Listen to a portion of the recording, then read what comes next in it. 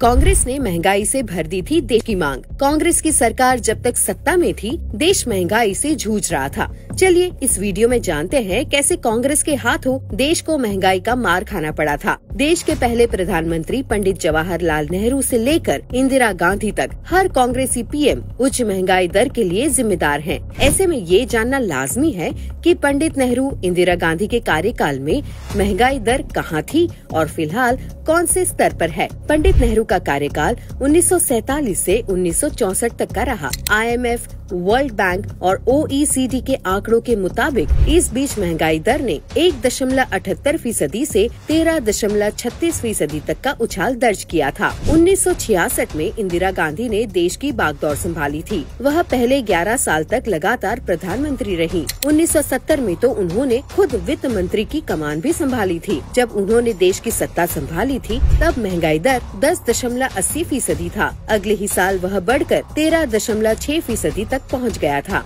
देश की आर्थिक तरक्की के इतिहास में इंदिरा गांधी की आलोचना तो होगी ही। उन्हीं के कार्यकाल, यानी 1974 में देश ने महँगाई का सर्वोच्च रिकॉर्ड स्तर दर्ज किया था। तब महँगाई दर अट्ठाईस दशमलव साठ फ़ीसदी दर्ज की गई थी। उससे एक साल पहले यह दर सोलह दशमलव चौरानवे फ़ीसदी थी। आपको बता दें कि आज भारत का महँगाई दर पाँच दशमलव पचपन फ़ीसदी है।